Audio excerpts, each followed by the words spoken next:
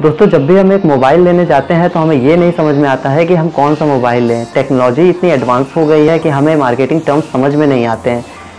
किस रैम को हमें चूज़ करना है, किस प्रोसेसर को हमें चूज़ करना है बैटरी क्या होनी चाहिए कैमरा कितना होना चाहिए स्क्रीन रिजोल्यूशन क्या होनी चाहिए, ये सब टर्म्स हमारे समझ के बाहर है। या हमारे दोस्त जब जाते हैं या पूछते हैं कि यार फ़ोन लेने जा रहे हैं, हमें भी कुछ बता दो कि किस टाइप का, किस तरह का फ़ोन ले, कैसे एक अच्छा फ़ोन हम चूज़ कर सकते हैं।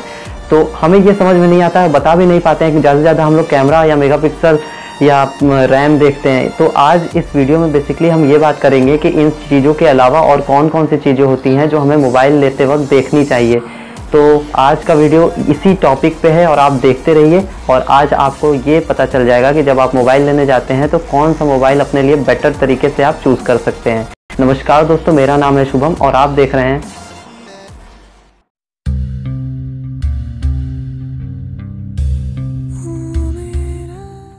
दोस्तों सबसे पहली चीज़ होती है बजट आप अपना बजट डिसाइड कर लीजिए कि किस बजट में आपको फ़ोन लेना है। उस बजट से मिलता जुलता कोई भी ब्रांड आप चूज़ कर लीजिए। सैमसंग नोकिया वीवो हो गया ओप्पो हो गया। तो आ, ये तो आपको पता है आपका बजट कितना है और कौन सा मोबाइल उतने में आपको चूज़ करना है।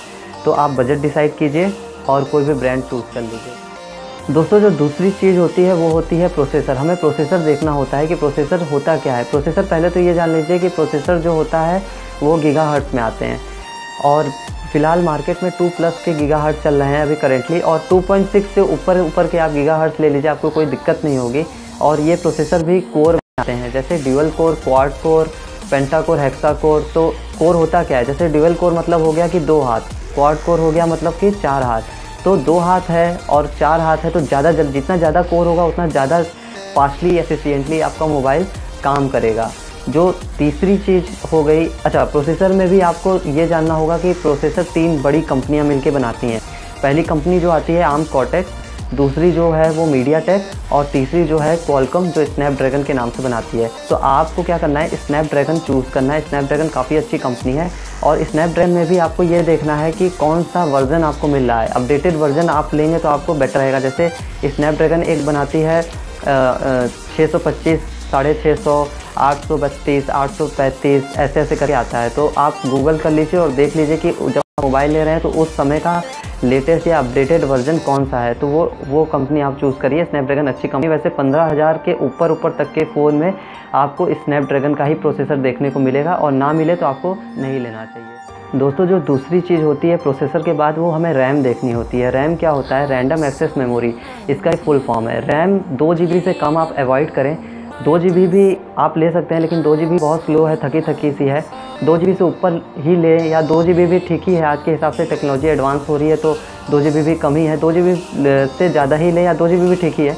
उसके अलावा आप ये ध्यान रखें कि आपको जो रैम दो जी मिल रही है, पूरी की पूरी आप यूज़ नहीं कर पाएँगे। कुछ रैम रिज़र्व होती है, जैसे दो जी बी रैम अगर आपको मिल रही है तो डेढ़ जी बी ही आप यूज़ कर पाएँगे। डेढ़ जी बी में ही आप एप्लीकेशन भर पाएँगे। बाकी पाँच सौ एम यूज़ रहती है। पहले से रिज़र्व रहती है मोबाइल में।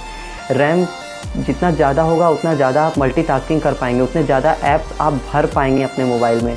तो ये समझ लीजिए कि एक छोटा गिलास है और एक बड़ा गिलास। है बड़े गिलास में आप ज़्यादा पानी भर पाएँगे, छोटे गिलास में आप कम पानी भर पाएँगे। तो ज़्यादा रैम हुआ तो ज़्यादा आप ऐप भर पाएँगे, कम रैम होगा तो आप कम ऐप भर पाएँगे। तो रैम के हिसाब लिए तो इतना काफ़ी है। दोस्तों, रैम के बाद जो चीज़ होती है, वो होती है बैटरी। बैटरी आप एम में आती है और आप 3000 या 3000 से ऊपर एम को आप चूज़ करें। वैसे तो मार्केट में 5000 एमएच की बैटरी भी आ गई है तो बैकअप उतना ज़्यादा मिलेगा। जितना ज़्यादा बैटरी लेंगे, उतना ज़्यादा देर तक आप काम कर पाएँगे। तो बैटरी के बारे में ज़्यादा कुछ बताने के लिए नहीं है। बैटरी के बाद जो चौथी चीज़ आती है, वो होती है कैमरा। तो कैमरे के बारे में हम काफ़ी कुछ आपको पहले वीडियो में बता चुके हैं। अगर आप मेरा पहला वीडियो कैमरे के बारे में देखे हैं तो लिंक डिस्क्रिप्शन में है, आप ज़रूर विज़िट करिए। और मेरा पहला वीडियो देखिए, जिसके बारे में हम आपको बताएँ कि सिर्फ़ मेगापिक्सल ही कैमरे की क्वालिटी को डिसाइड नहीं करता है तो ज़्यादा कुछ कैमरे के बारे में नहीं बताएँगे, बस सभी के लिए इतना जान लीजिए कि अगर दो मोबाइल है, एक में 15 मेगापिक्सल कैमरा है और दूसरे में भी 15 मेगापिक्सल कैमरा है, और दोनों से आप फ़ोटो खींचते हैं तो एक काफ़ी अच्छी फ़ोटो आएगी और एक से थोड़ी डल फ़ोटो आएगी। ऐसा क्यों होता है? मेगापिक्सल तो बराबर है तो दोनों में सेम पिक्चर आनी चाहिए। तो इसका मतलब ये होता है कि मेगापिक्सल के अलावा भी और भी चीज़ें होती हैं। अपर्चर होता है सेंसर साइज़ होता है लेंस होता है। तो आप वो देखिए लिंक में है डिस्क्रिप्शन में है।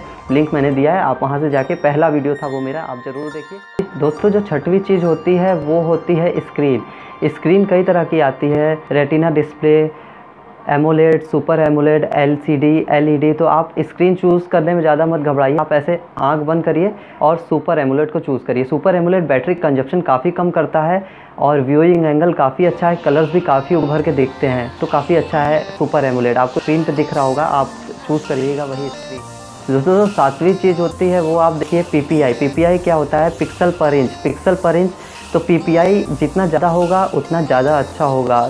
साढ़े तीन सौ पी से ऊपर आप लेंगे मोबाइल तो ठीक है PPI होता क्या है, इसके बारे में भी हम आपको बता देंगे। अभी इस वीडियो में लंबा हो जाएगा। तो PPI अभी के लिए इतना जान लीजिए, आपको पैथागोरस थ्योरम लगा के हम निकालना बताएँगे कि किसी भी मोबाइल का किस तरीके से रिजोल्यूशन हमको पता हो तो हम PPI निकाल सकते हैं। तो PPI ज़्यादा होगा, उतना ज़्यादा अच्छा होगा आपके मोबाइल के लिए। दोस्तों, जो नेक्स्ट चीज़ है, वो है कोरिला ग्लास अगर कोरिला ग्लास आपको मिल रहा है तो उसके ऊपर आप टेम्पर ज़रूर लगवाइए।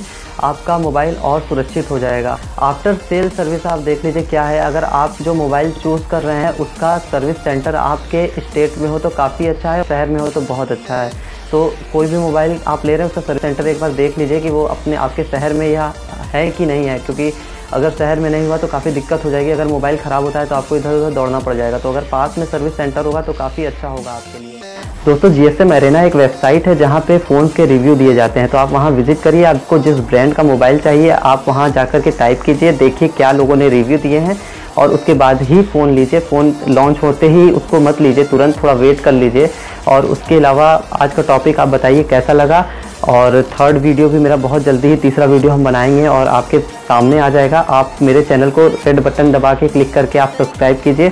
तब तक के लिए धन्यवाद। शुक्रिया। टाटा। Good bye